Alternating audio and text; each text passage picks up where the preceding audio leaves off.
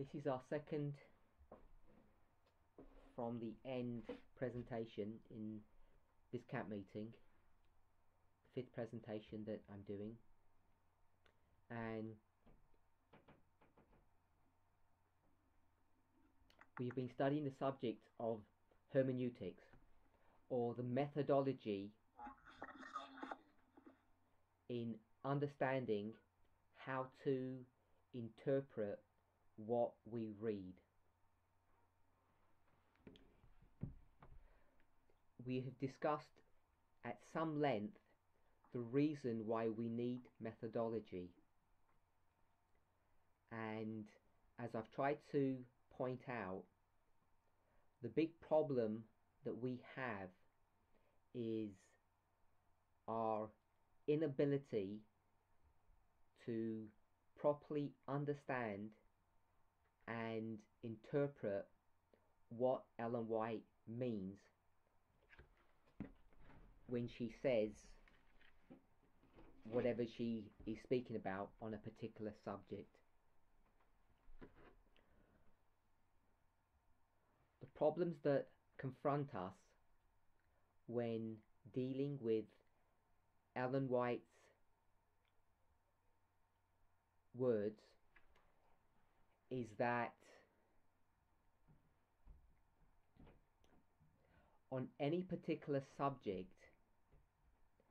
it's not as straightforward as we might think to mm-hmm. understand how we should comprehend what Ellen White is saying. Often it seems very simplistic because she speaks in such plain and simple language, but on closer investigation, what we find is that the more words Ellen White speaks about on a particular subject, often the more complicated and difficult it becomes. And the reason for that I've tried to explain, particularly when we address point two. We are confronted with a problem. Either we have very little information on a particular subject, or we have too much information on a subject. And when we have too much information on a particular subject, as we do on many controversial and important subjects that affect us as God's people, we can fall into the trap, into the problem that we're confronted when we deal with these uh, issues, these subjects. And I have spoken about them at length. Uh, synecdoche and a metonymy. I've explained what they are and I've explained what the problem is. And the difficulty that we face is that we tend to want to gravitate to this point here, that a part always refers to the whole. But what I've tried to show us is that when it comes to Ellen White's writings, a part does not equal the whole, especially when you have a large amount of information on a particular subject. And it can be any subject. Um, for instance, the nature of man, the human nature of Christ, the nature of the Holy Spirit. Subjects such as those, nature of man, the nature of Christ, the nature of the Holy Spirit. Ellen White speaks um, volumes on those subjects, and because she speaks so much about them, what people struggle to do is take all of her statements on a particular subject and condense them into a simple to understand and a simple to explain answer.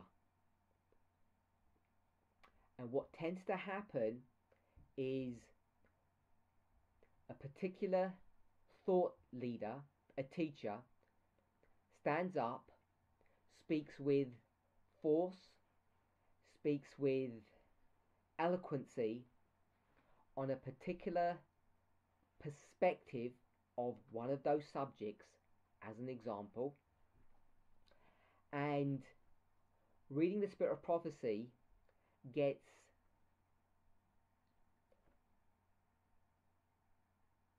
gets enthralled by a particular perspective makes it that person's niche uh, ministry or um, study or interest, and then they begin to push this as the complete revelation on a particular subject. And what tends to happen is people gravitate to that person's perspective, and once that happens, you fall into the um, trap, as I've explained, of the cult of personality.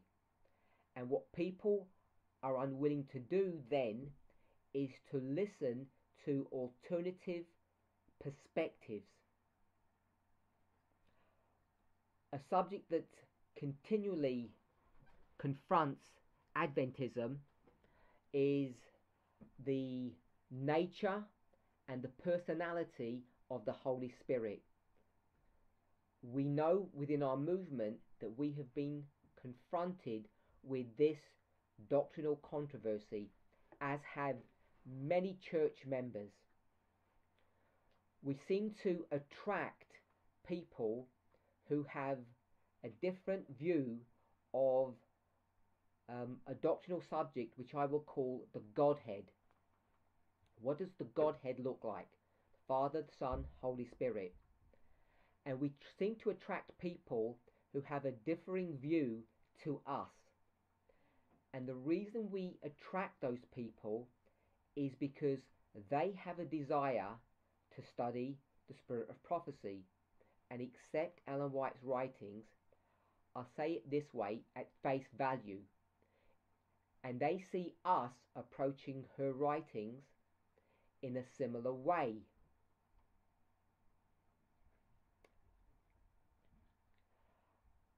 Just want to comment people are having problems with the audio today and the reason they're having problems is because we've had problems of the audio at our end and we've switched to a different microphone. And that's why people are probably struggling with the audio today. That's why there was a delay. We weren't able to fix the problem. And um, just want to apologize for that. So I'm hoping people can hear sufficiently well to understand what I'm saying. So people will arise and they will come across the Spirit of Prophecy quote, think that they have discovered some new perspective, some new light, some new angle, and they will promulgate that. And then what tends to happen is when people resist that or argue against it, that particular person becomes defensive. And this is a common problem in Adventism that they take things personally and feel like the truth is being suppressed, that it's um, this new light is being attacked. And then it switches from a Bible study to really a conspiracy. And from the conspiracy, you develop a cult of personality. And what happens is people who follow that line of thinking, um, that particular person, end up getting to a place where they're no they're no longer willing to even listen to reasoned arguments because they see whatever argument that attacks their cherished perspective as an attack upon the truth.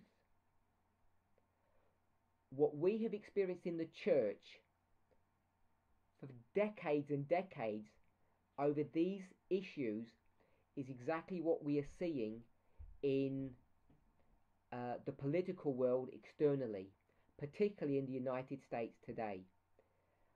People develop conspiracy theories thinking that there is some hidden agenda that is designed to bring down and suppress the truth. And that is why, with the subject of the Godhead and the personality and nature of the Holy Spirit, those people who believe that Jesus is the literal Son of the literal Father and that the Holy Spirit is a literal power force or an energy field of some kind of Jesus because they read those literal words, it's very hard to persuade them that they're mistaken. You can show them Spirit of Prophecy quotes to um, that contradicts and shows that their position is not right, and what they will do is they will just run run circles and circles around this subject, going nowhere, and will never accept an alternative perspective. And the reason why they're unwilling to do so is because of this issue here. They believe a part of the information, a part of the whole explains the whole. And they're not willing to take an holistic view and realize that the part that they are dealing with does not reflect or represent the whole. And what happens is when people try to give a perspective of the particular cherished quotes that they have that defend or bolster their position that Jesus is the Son, that the Holy Spirit is just a force, they're unwilling to take that perspective. They begin to dig their heels in. And this is an unfortunate an, an unfortunate occurrence to happen, but it happens so often. I think we don't really appreciate how serious this issue is. And without following methodology properly, you will be drawn into um, this web if you're not careful. If I can say in a really crass and worldly perspective, there's a sucker born every day. And unfortunately, there are too many people in our movement who are being drawn in and sucked into false ideas because they're falling foul of this issue.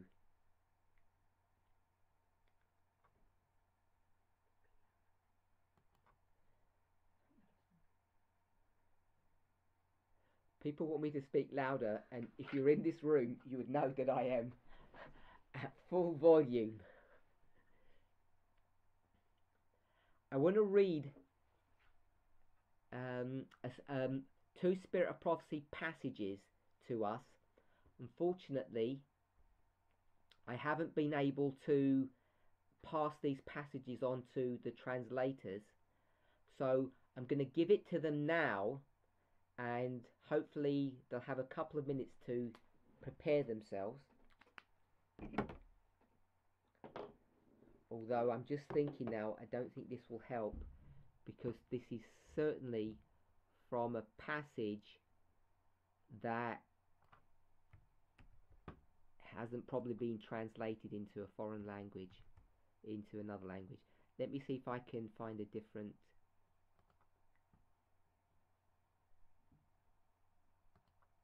No, this is from miscellaneous collections. So what I'll do is I'll still give the reference and I'm assuming that they may be able to use uh, or another translator to translate this into their own language. It's PC 298. Paragraph 2 and 3. PC is the Paulson collection. It's a collection of letters that Ellen White wrote to a brother called Paulson. And this particular section is dealing with Paul's experience. What Ellen White is going to do is compare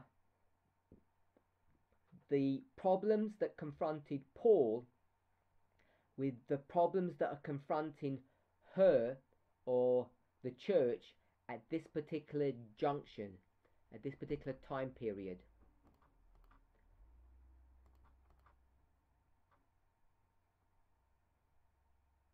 I'm just trying to see if I can give you the date for this. This is 1909. It's quite late into Ellen White's ministry, and it's it's a letter that's written to the leading ministers in California. So I've just set that up for people. I'm going to switch topics for a few minutes to give people, um, give the translators a moment to try to locate and to, if possible, translate that. And I'll come back to that in a moment. So, talking about methodology, I've given seven reasons why we need to be so focused on understanding what it is that we're reading. I've tried to labor on this issue of how easy it is to be drawn in by personalities and not to think for yourself. I've discussed William Miller's rules of prophetic interpretation. We spent some time looking at Rule 14 and I tried to show us the inconsistent position that people have when it comes to those with an empty mind and those with a free mind, and how easy it is to manipulate the information to deceive people, even if it's done unwittingly, and switch people who are free thinkers and identify them as bigots. And to identify bigots as those who are free thinkers. And I'm hoping that each of us takes these things to heart. And the reason why it's important, and I spent time um, discussing that particular rule, is because the current controversy, we are in a shaking that's confronting this movement on multiple continents. In fact, the three geographical areas that we are having camp meetings in African continent, Oceania, and uh, the Americas. those three continents, I know the Americas are two continents, I understand that, and Africa also encompasses Europe in its time frame, um, time zone, sorry. But in those areas, this controversy is being waged, is alive and well within our movement, and every single one of us should be aware that there is a controversy going on, even if we're not fully au fait with the details of that controversy, or if we're not familiar with the the names of the people or the personalities that are involved in this controversy. I want us all to be aware that the controversy is here. Almost a month ago now, on the 19th of August, a two part presentation was recorded in Australia by Elder Tess. And as she and I have discussed the matter, we are alarmed by the fact that so few people in our movement have actually watched those presentations. And the reason why we have such a concern with respect to those uh, that particular study is the following. In the history of this movement, there have been punctuated points in our history where God has delivered a message that has been extremely relevant and important for that time period.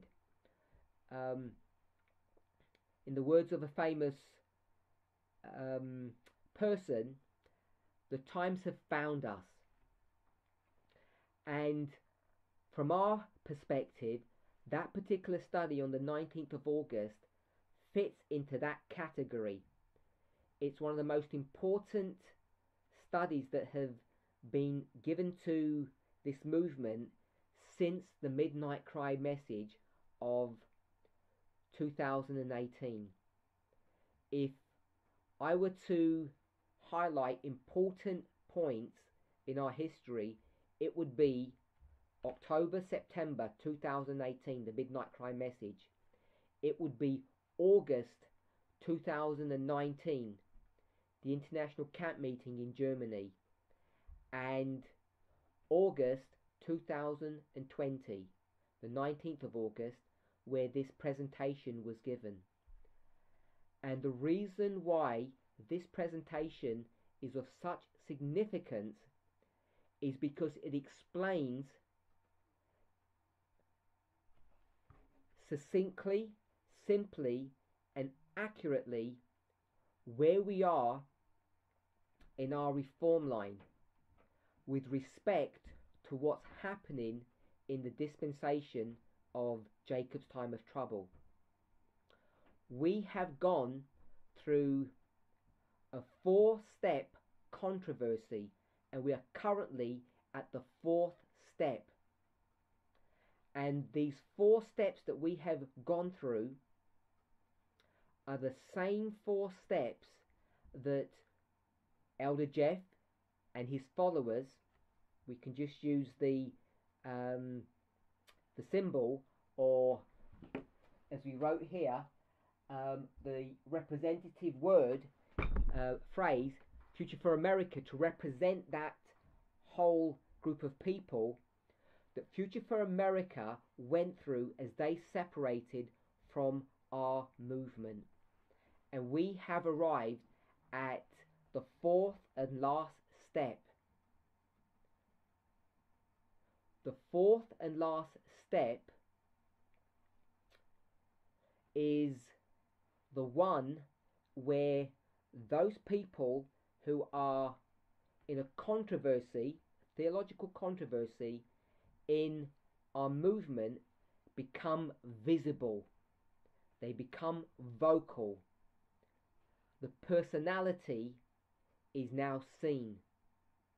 And this is the same point that we arrived at last year in August when Elder Jeff became the cult of personality that people gravitated around because they were enamored, excited, um, enthralled by him as a person, even though they didn't fully understand the message that he was given.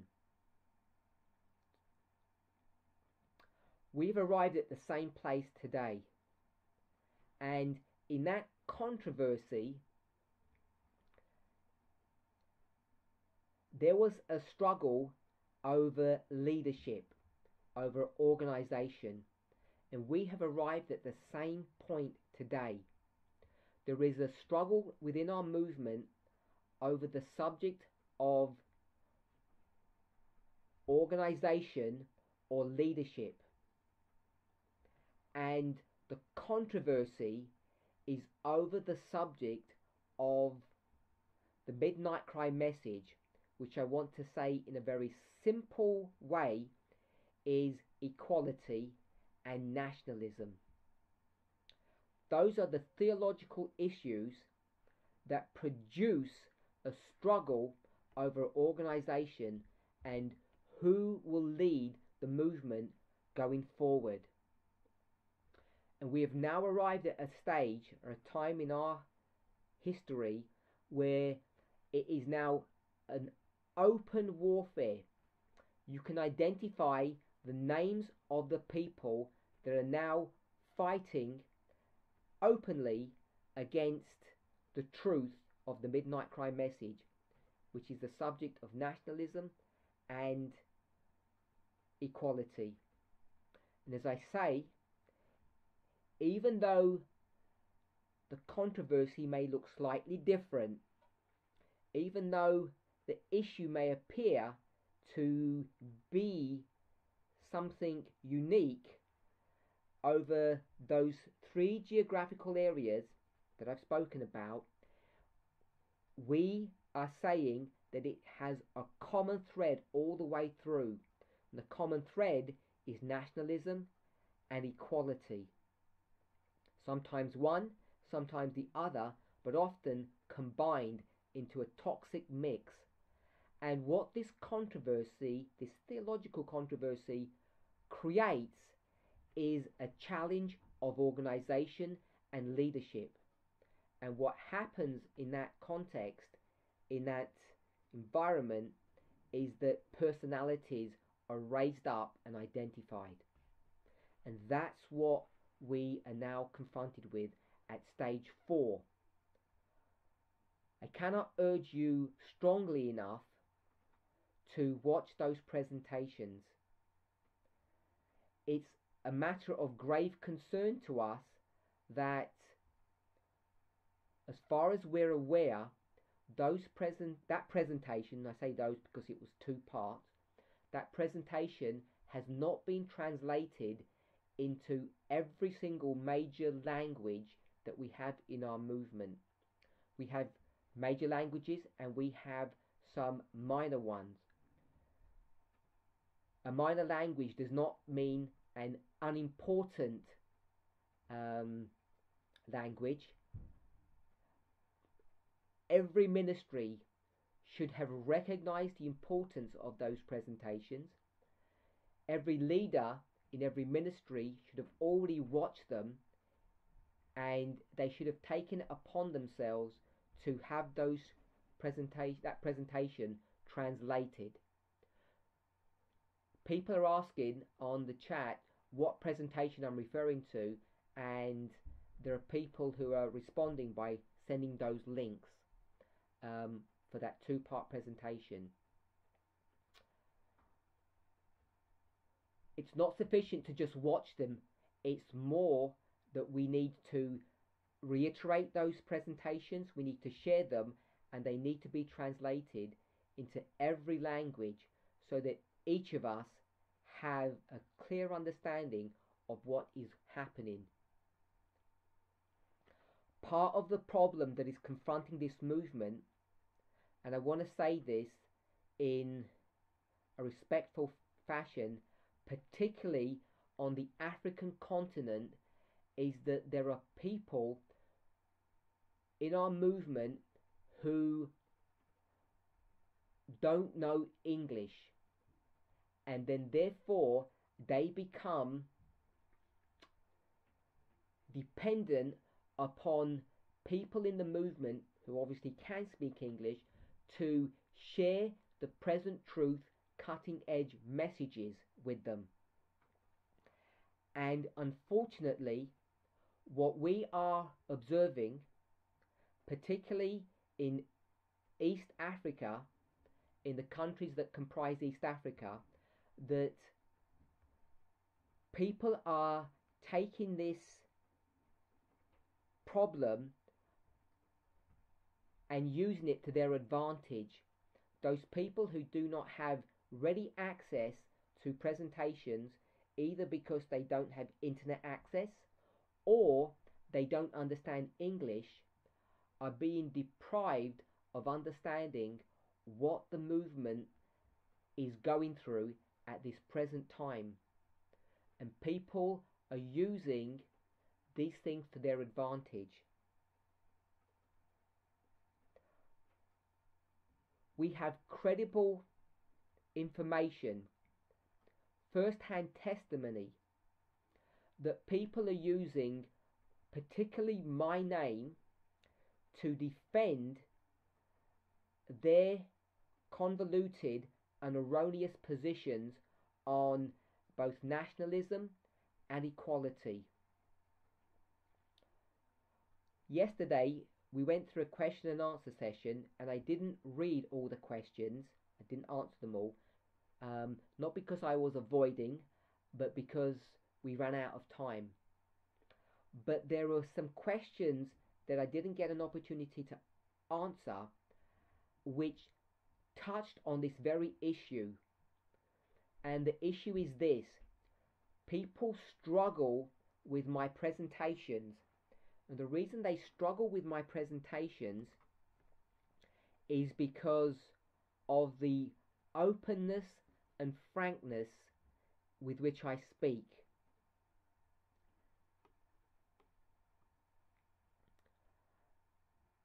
A common reference point that people go to and people are going to on this issue is the presentations that were done in Portugal. And what I want to say to people is the following. I want to reread the statement that I shared with um, uh, with the group um, on these presentations at my very first presentation. Superficiality is the bane of scholarship. Truth has nothing to fear from thorough investigation. It thrives on scrutiny. Its very nature courts the light. And when I present, particularly on the messages both in Portugal and earlier in the year in Uganda, I dealt with controversial subjects in an open and frank manner. And every time I have ever done that in the past, it's given an opportunity to those people who have wanted to take that opportunity to twist my words and use it to their own advantage. Whether they do that maliciously or deliberately, I cannot answer because I don't know what's in their hearts, but I see the fruit of what is happening. So, for those people, particularly in East Africa, if you are being taught by people, by teachers in this movement, and they are using my name to defend their new view of something, then you should be on guard. And unfortunately, what my fear is that the very people that I need to speak to in this presentation don't even understand English and will probably not have access to this internet uh, presentation because no one's going to provide them um, with this resource unless special measures are taken. The reason why this is so dangerous, so complicated, so difficult is because it's so easy to take people's words and misconstrue them and misunderstand them. A few weeks ago,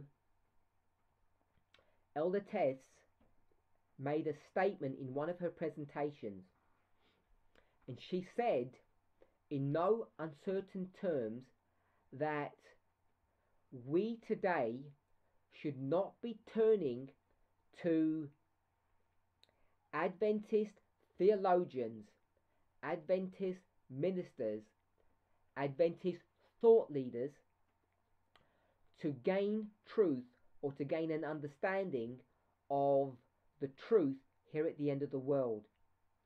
They have nothing to offer us that we cannot discover for ourselves or that we already know. She gave a beautifully simplistic example of this. You and I could never imagine that after Paul's conversion, when he returns to Jerusalem and seeks out Caiaphas, Annas, and other members of the Sanhedrin to try to show them the mistake that they have made, now that he has seen the light, he didn't go and ask them what their opinion was, what their thoughts were. He didn't go and sit at the feet of Gamaliel. He went there to instruct them. You can take that principle and think about any of those apostles.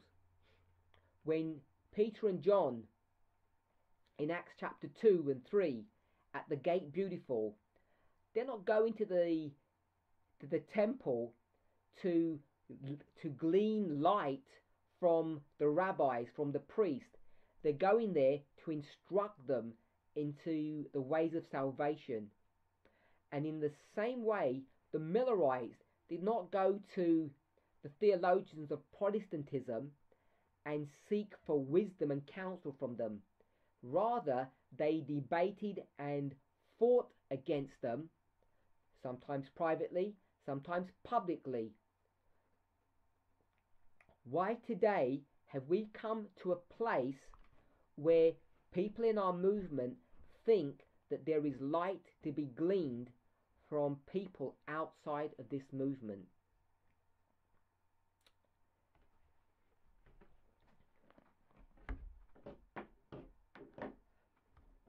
I'm hoping I've given enough time for people to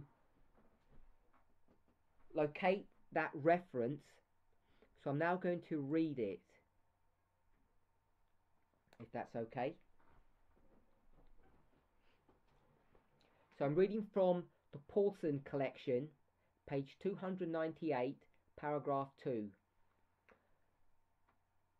I think this was uh, written in, I think I said 1909. It's a letter to the leaders in California.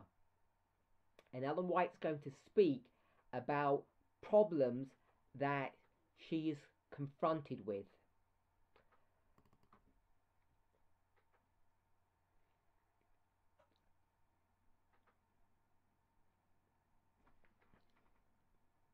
Be one moment.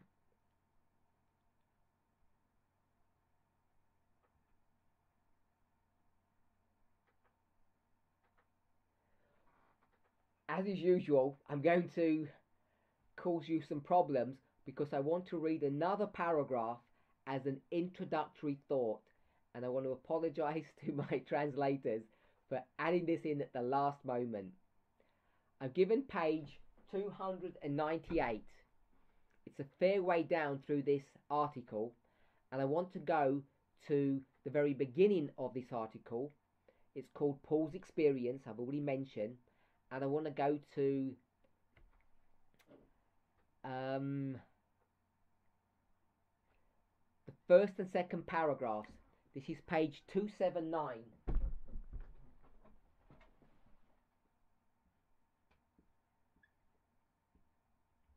Paragraph 1 and 2.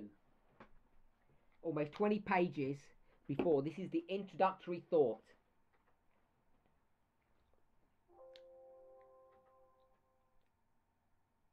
we um, if the translators can just paraphrase, that would be good. Um, the main point I wanted us to read is uh, the passage that I gave. We would do well to study carefully the first and second chapters of First Corinthians. So Ellen White's going to speak about Corinthians, First Corinthians chapters one and two. He then quotes we preach Christ crucified, the apostle declared. And Christ crucified is this. She's going to explain what Christ crucified means to certain people. unto the Jews a stumbling block, and unto the Greeks foolishness. But to them which are called, both Jews and Greeks, Christ the power of God and the wisdom of God. So, Paul's message is Christ crucified, the death and resurrection of Christ. This subject to the theologians of Adventism is a stumbling block.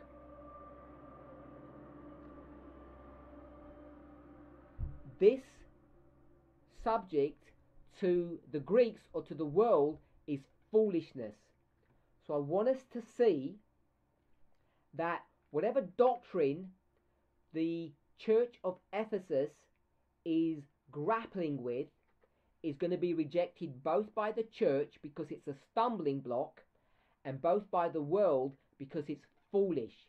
They both reject, but for different reasons.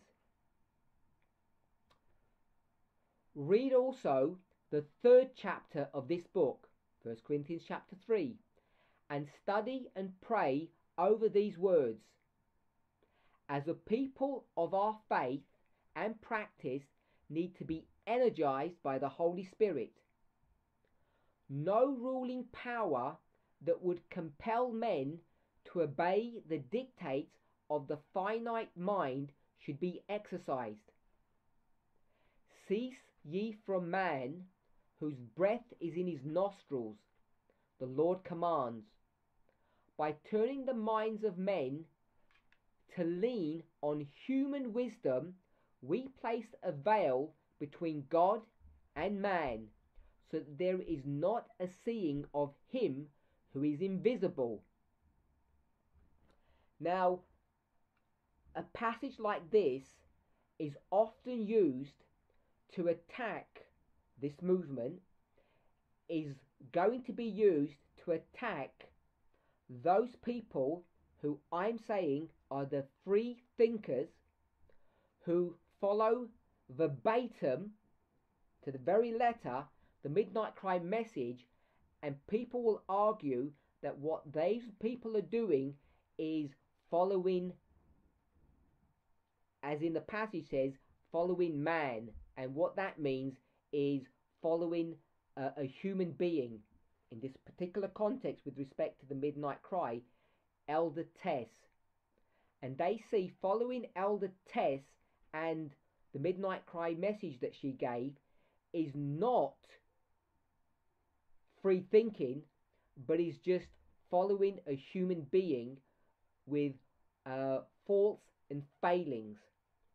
This is how the argument is used over and over again. This is not a new argument. This is an argument that has been running not only through this movement but through Adventism since its inception. We shouldn't be surprised because this is the very argument that Paul is having to grapple and deal with. Who do you listen to? Do you listen to a human being, a personality, the cult of personality, or do you listen to God's word, which I want to say is hermeneutics. Not only reading, but understanding what you read. I'm sure you all realize, at least I hope you all realize, the difficulty that Paul and God find themselves in.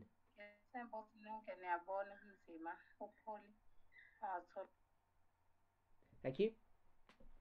The difficulty that they find themselves in is that God is not going to give a dream, a vision to his people one night and show them the truth about how to read the Old Testament that explains the death and resurrection and ministry of Christ. It won't be that way. He will raise up a human agent to be his voice piece, which he has done every time a gathering occurs.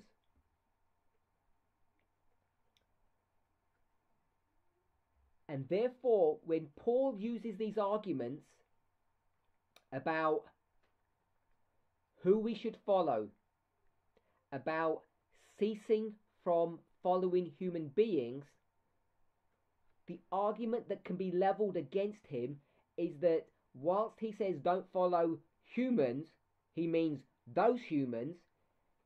He, he in essence says rather than following them, follow me. I'm sure we can all see the dichotomy in that statement.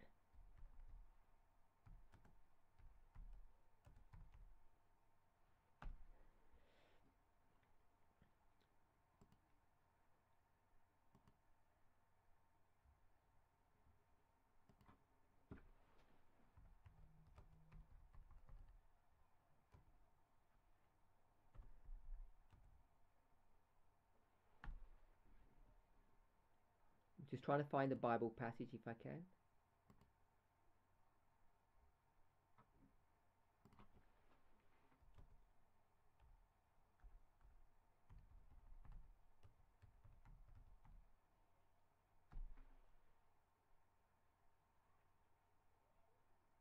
Find the passage in my next presentation. Um, I want to read um, the two passages um, that I've given to you and as I said, I've taken us to the introductory thought about do you follow what I want to call methodology or do you follow human wisdom? And the problem is there are two human beings that are being that you're going to have to decide to listen to. The man, as it says, cease ye from man, whose breath his, in his nostrils, or are you going to follow Paul as he explains how to interpret and understand the prophecies that deal with Christ. Remember, unto the Jews, this information is a stumbling block, and unto the Greeks, it's complete foolishness.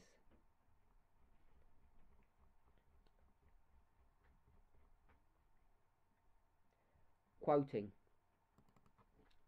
As the Lord has wrought in a remarkable manner to uphold the messages sent to correct the strange work that was being done, the evil has been checked, but it has, but it has not yet been fully rooted out.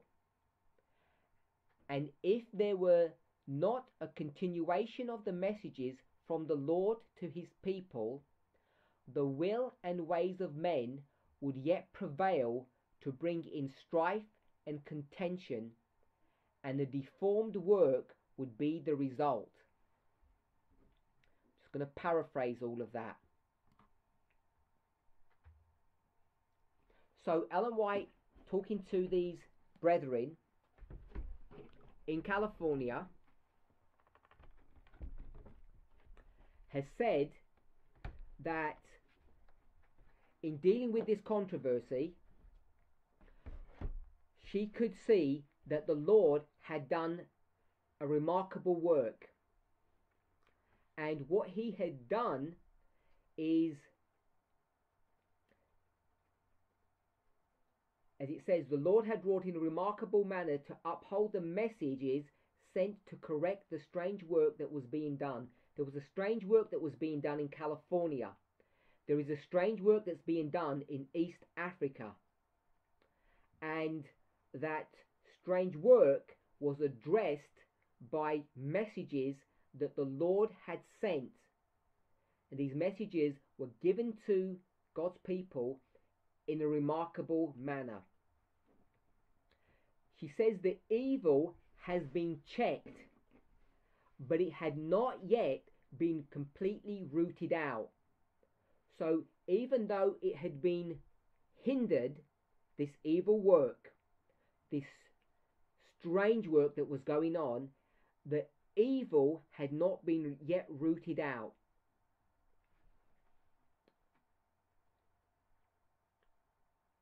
And what needed to happen was that there had to be a continuation of the messages from the Lord to his people. in order to continue placing a check on this evil and to hopefully root this evil out. And if there was a, a withdrawing or a slackening of this rebuffing or this message to confront this evil, what would happen would be that the ways of men would yet prevail. So those opponents to the truth would win the day unless God's, with the message that he had given to Ellen White, was continual, continually pressed upon the hearts and minds of the people. What would happen is if they stopped, then the ways of men would win and they would continue to bring in strife and contention, and the work would be deformed. Continuing, quote, I was shown that human power is constantly working to weave itself into the work of God. This brings in disjointed and inharmonious action. The messages of pure and unadulterated truth are in danger of being trampled under feet by self willed, unconverted men, and I'm going to add women, who work to destroy confidence in the warnings that God would speak to the hearts of his people to correct error and to encourage righteousness. What has happened is that these people are bringing in disjointed and inharmonious actions into the work of God because they have a false message. And with this false message, what will happen is the true, unadulterated message, the midnight cry message in our context, is in danger of being trampled under the feet of these people who are weaving into the work of God their own selfish, ambitious thoughts and ideas. She calls these people unconverted. And unconverted means that they have not accepted the present truth message of that dispensation. And in our history, in our dispensation, we have people, in the context of this particular point that I want to make, because it's a real issue in East Africa currently, there are unconverted men who are being raised up and they're trampling down the pure, unadulterated truth of the Midnight Cry message. And you can be certain that they are not using open and clear discussions or methodology to do that work. What they're doing is destroying confidence in the warnings that God would speak to the hearts of his people to correct error and to encourage righteousness. What is the error that we have been taught in this movement for the past two years. It's nationalism and equality. We know that's the error that has been, uh, God has tried to correct. And what will happen is the truths that are being introduced by these unconverted people within our movement is that they will trample down upon these truths and they will destroy confidence in these uh, issues of nationalism and equality. Now, I want to add a point.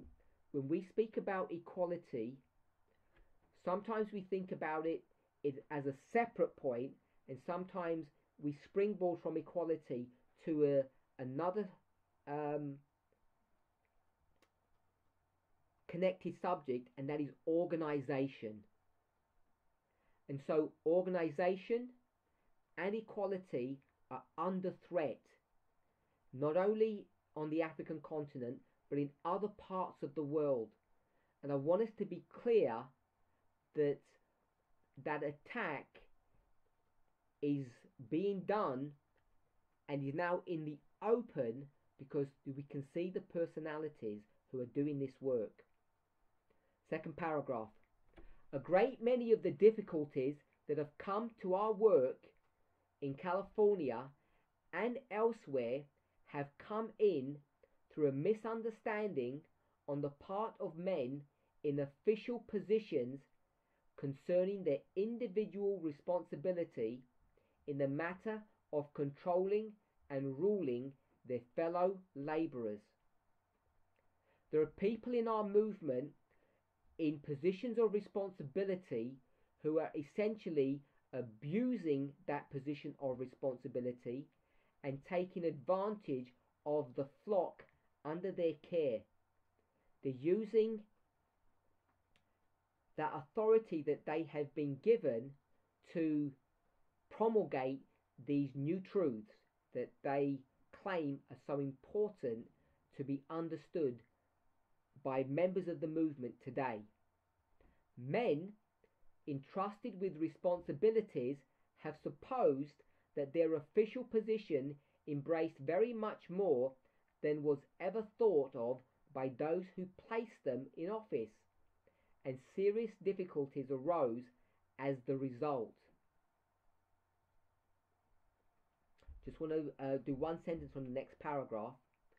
Simple organization and church order are set forth in the New Testament scriptures, and the Lord has ordained these for the unity and perfection of the church.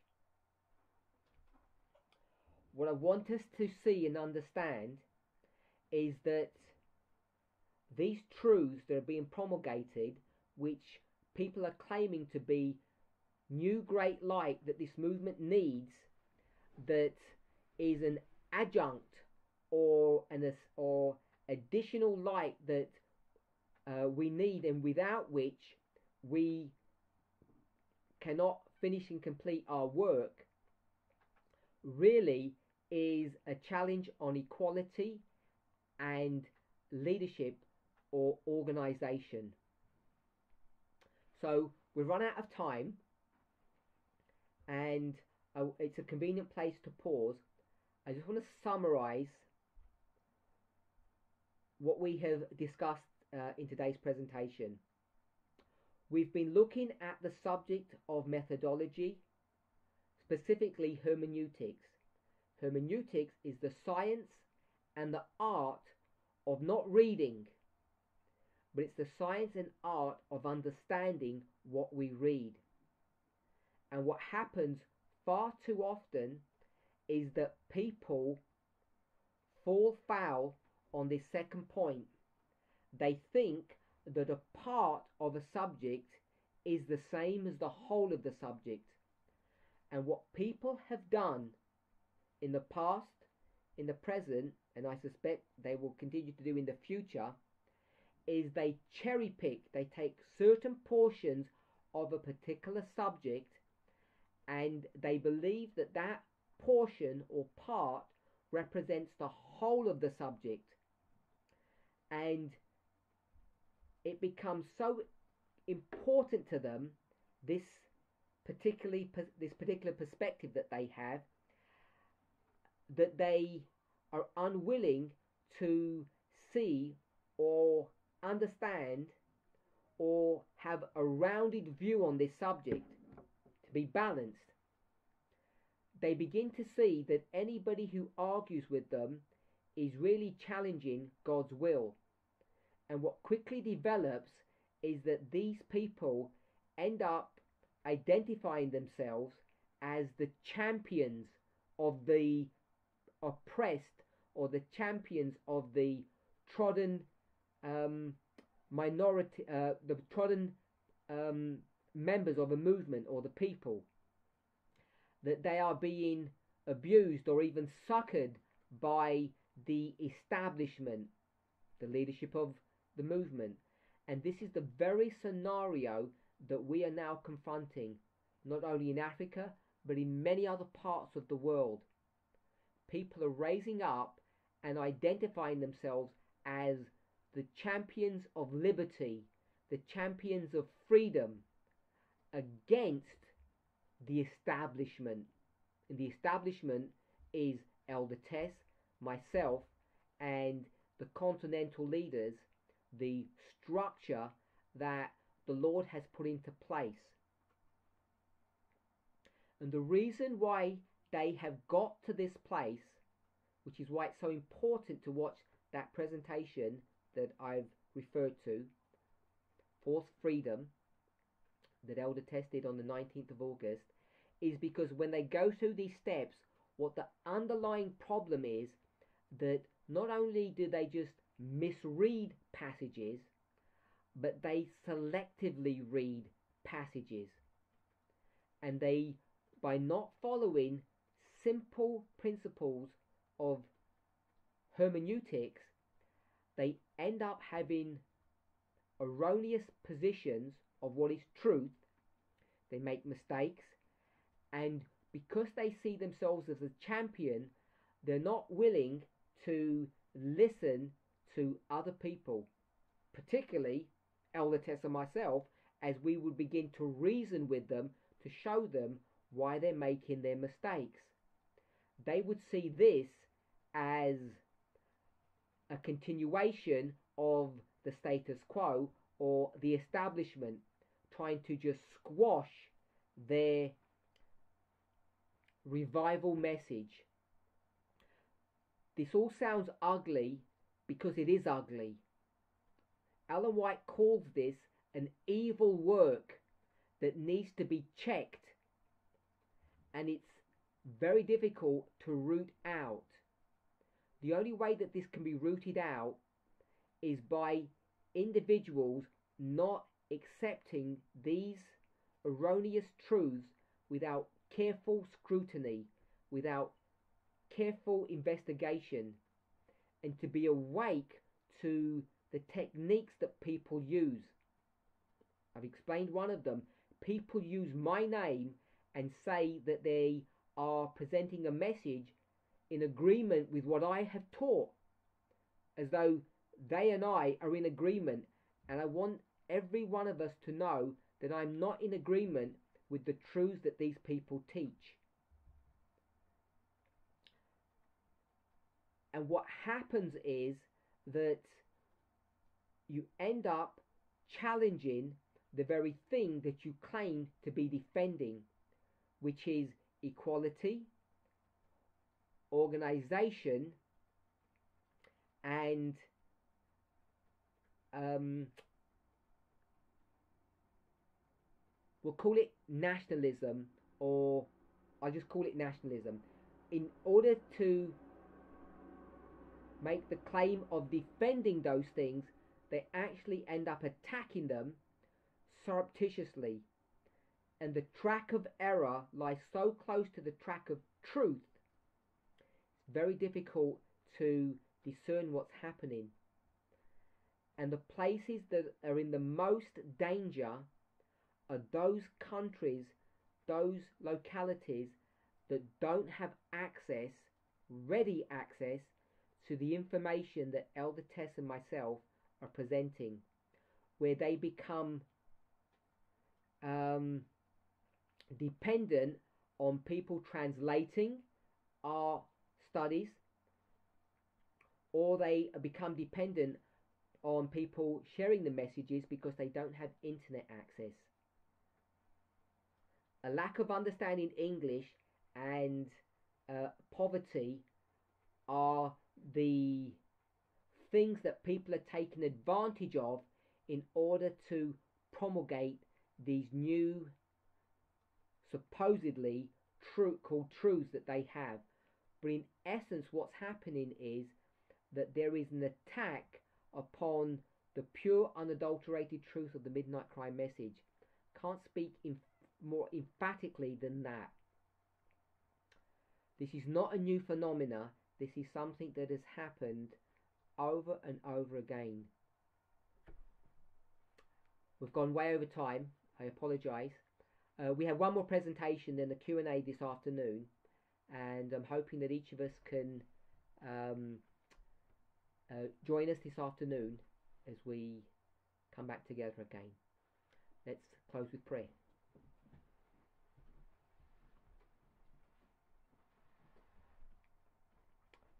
Heavenly Father, we want to give you praise and thanks for your goodness and mercy. We pray that you would guide, direct, and bless us in the study and meditation of your word. Father, as we realize that another shaking is not only in progress, it is coming to its crescendo, to its final moments. Already, personalities are making themselves visible. Already, they are openly challenging and attacking the Midnight Cry message. They use various means to do this evil work, as Ellen White will call it. We know that it's a direct challenge to the work of organization, that you have instructed your people to begin. It's a direct attack on equality, and as people see the fruit of that evil work, they see how equality is being undermined at every level. It's my hope and my prayer that each of us listening to this presentation, and even those who are not, if they could be, these thoughts could be shared with them, that we might come onto the right side of this issue, that we might contemplate the significance of William Miller's 14th rule, that we would have free minds and step on the side of truth and not have an empty mind and listen to erroneous, false, and evil messages.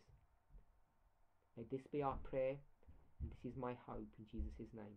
Amen.